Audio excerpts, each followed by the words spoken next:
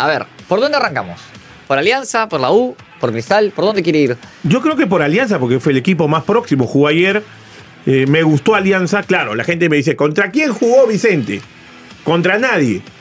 A ver, pero hay equipos que van a jugar contra Comerciantes Unidos y quiero ver si le meten cinco. Claro. Y se marcan una diferencia de, de cuatro goles en un partido. Y además Alianza generó muchas opciones de gol durante el partido.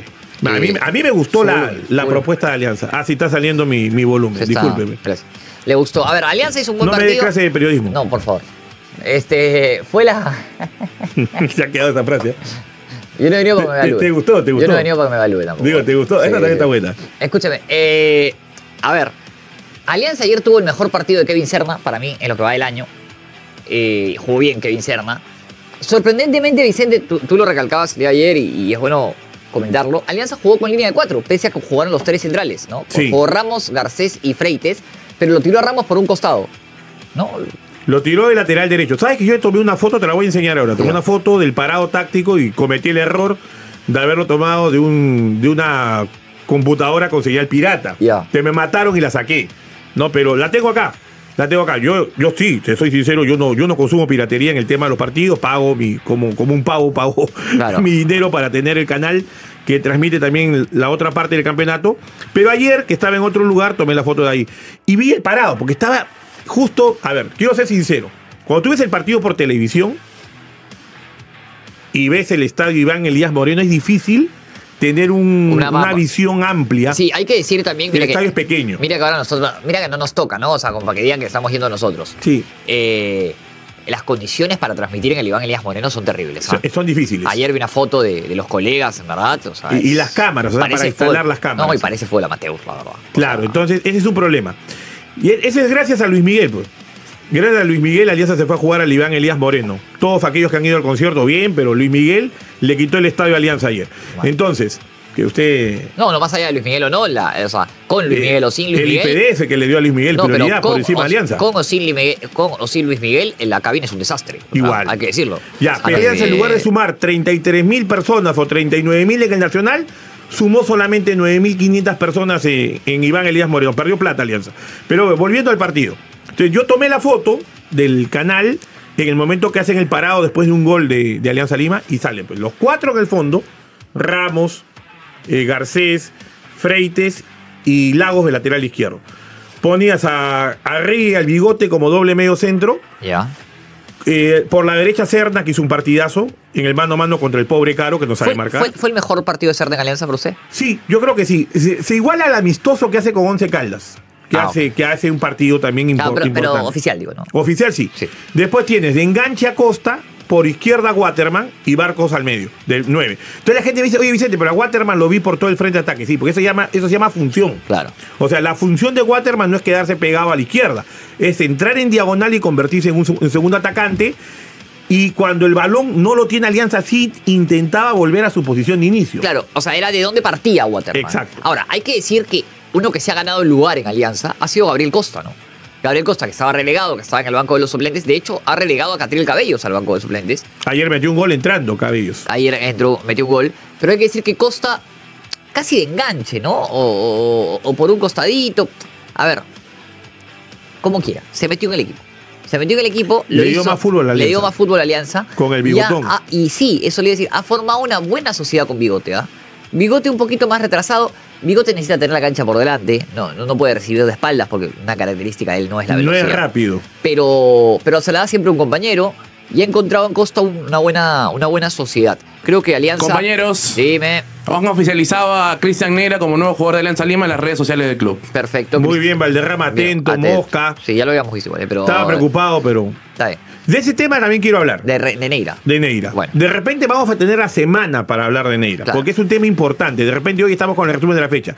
Pero es un tema importante porque cuando un jugador sale que su contrato en la federación vale menos que el sueldo mínimo, que son 800, no sé, eh, bueno, el sueldo mínimo es más de mil soles, pero el contrato de Neira creo que es de 800 y tantos soles, es una vergüenza y está clarísimo que este jugador tenía doble contrato.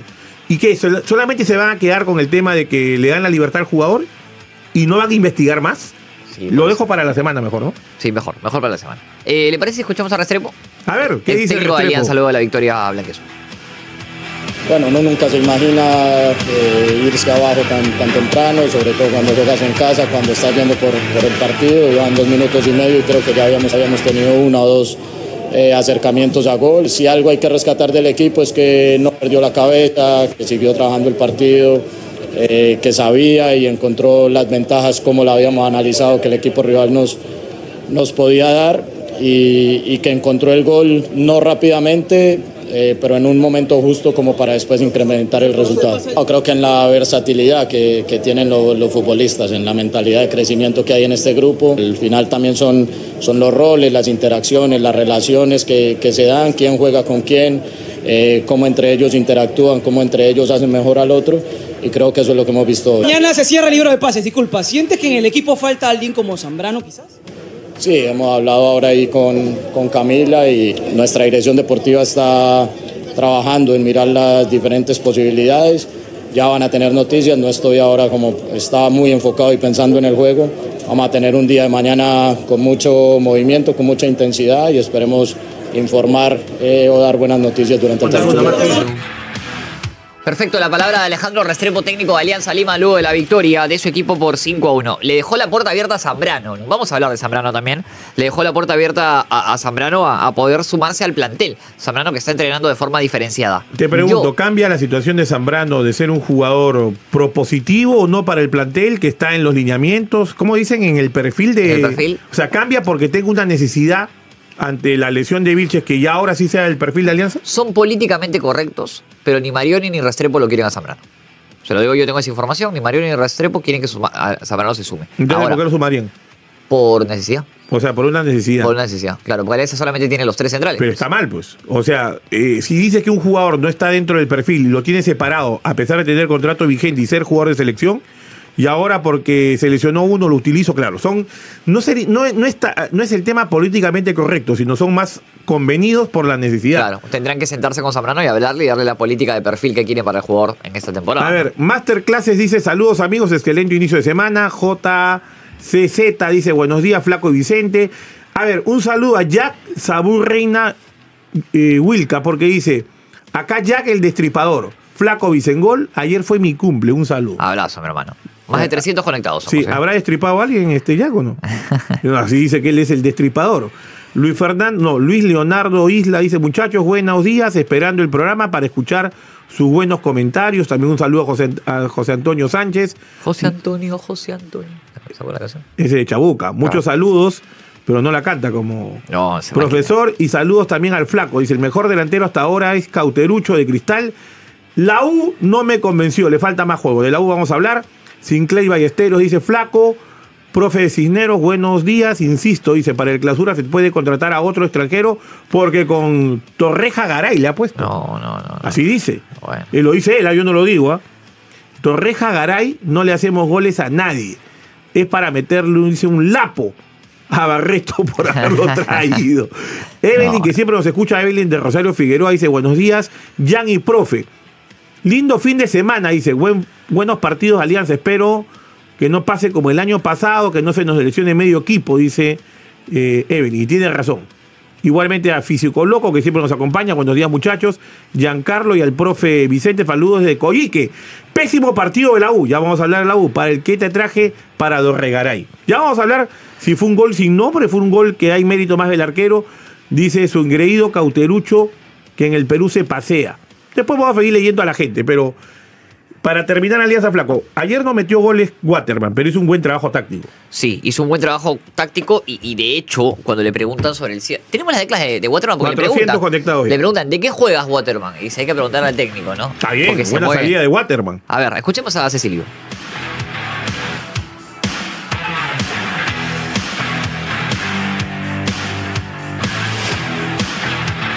La verdad que, que se dio el fútbol que, que venimos entrenando en la semana y ahora lo pusimos en práctica y bueno, muy contento por, por la victoria de hoy. Eso no, se dice qué juego, no se dice. Creo que el profe me da la libertad de, frente a ataque y la verdad que muy contento por, por moverme donde sea.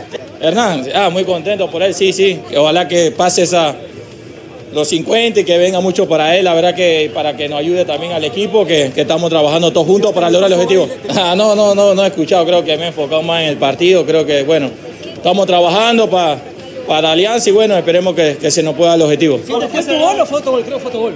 Fui convencido ahí, creo que me lo tienen que anotar, creo. No sé, ¿usted qué opinan? No, no sé si será boga, creo que eh, me ha pasado ya estas cosas en Chile, en Uruguay cuando tuve también fue lo mismo y bueno. eh, también a veces la nacionalidad, ves, viene un panameño para, para acá, ¿viste? Lo ven como, pero bueno, hay que trabajar humildemente y bueno, las cosas se dan trabajando. Las declaraciones de Cecilio Waterman, Aquaman. eh, buena temporada de, de Waterman en Alianza. Y, y él dice algo que es muy cierto, ¿no? Y que muchas veces es el prejuicio. Él viene de Panamá y uno dice, bueno, viene de Panamá, ¿cuántos goles podrá hacer? A- acá le pegamos, hay que ser eh, Le también pegó- le pegó eh, usted, justo. yo le no- pegamos los dos. No, yo le pegué a Cauterucho. A ver, el señor tiene Uy, que pedirle no. también este, perdón a Cecilio. a Cauterucho sí, Cecilio a a Waterman también le pegó, se burló de él. jamás, jamás. Ya decía que mejor en, en Panamá hay salseros. ¿Qué más hay en Panamá? Eh, Beisbolistas, pero buena- no hay futbolistas. hay buena salsa. No, ¿cómo que no? Tejada era Tejada era bueno. Chiquitín Quintero. Han ido a un mundial también en el Muy 2018, bravo, estuvieron en el mundial. Pero a ver, yo creo, y acá para las redes, el señor, un saludo al señor de redes, a Sebastián. De los cuatro equipos que están peleando la apertura, a mí me gusta más Alianza. Y a ver qué dice la gente, porque la gente va a decir, no, la U, Cristal, Huancayo. pero yo le pregunto- para mí me gusta más Alianza. ¿Pero por qué habla para redes? Estamos acá. no, no, porque programa de nos están en vivo, haciendo, en nos están grabando en redes y, y tengo que repetir algo que Ah, usted, dije. usted quiere hacer el bite. El Exacto. bite. El O- bite es ¿Usted cuál es su favorito para de los cuatro? Eh, O, gusta. o- hasta con la canción Felices los Cuatro, No, a como dijo ayer en televisión. No, no, a mí me gusta Cristal. Cristal. Me gusta Cristal. El y- señor es Cristal, yo esta vez estoy inclinado por Alianza Lima. La gente dice la tabla, la tabla Alianza es cuarto, pero puede ser primero. Un punto. Estos 15 días, vamos a ver si Alianza está en la medida, porque va a Tarma y juega con Cristal. El sábado. 8 de la noche. Sí, sábado 9 de marzo. Sí. Juegan 8 con de la Cristal. noche. 8 de la noche. Así que. Ahí ya se fue contento Sebastián. Ya está. Escúcheme, escuchemos a Barcos, el capitán de, de Alianza Lima, y cerramos las declaraciones de los jugadores blanqueazules. Ah, cosas que pasan, eh, un error nuestro, pero lo supimos, lo supimos dar vuelta enseguida, ¿no? que eso es lo importante. Dependiendo del rival, tenemos varios sistemas y eso es lo importante, que, que el grupo se sienta cómodo, eh, no importa el sistema que se juegue y sí que se, que se proponga la idea que el profe dice. ¿no? Muy bien, muy bien, Víctor, de a poquito va a ir sumando minutos, si Dios quiere, se vaya acoplando al grupo, sabiendo eh, lo que tiene que hacer. ¿no? Mi hijo, que, que está siempre escuchando y bailando, y me pidió que si hacía un gol que baile, así que bueno, ahí le- fue para él. Ese, dame tu cosita. Siempre uno como delantero quiere hacer goles o le, vienen bien los goles, pero estoy contento con el desarrollo del equipo, con el desempeño que viene haciendo, con la idea que, que cada vez la, la agarramos más y la verdad que contento con todo el grupo. Dame tu cosita. ah, ah, Dame tu cosita. ¿De dónde me sacan estas canciones ustedes? ah? El pasito de barcos, el pasito de Ah, barcos, el lo dijo. pasito porque de El hijo, Barcos. el hijo de Hernán. Barcos le gusta esta canción, el Dame tu cosita. Digo. Valderrama también. Digo. El problema es que. No se- no le a hace ver bola- si, no le hace si bola se a le nadie. da. La A ver verdad si que se le no da. le- no le A ver- a no ver le- si se le da el tema a Valderrama. Creo que no se le da hace tiempo. Pero. Bueno. ¿Qué, no, ¿Qué quiero hacer? La- la- Estamos en vivo al aire a nivel nacional. La canción Dame tu cosita es una canción que pidió el hijo.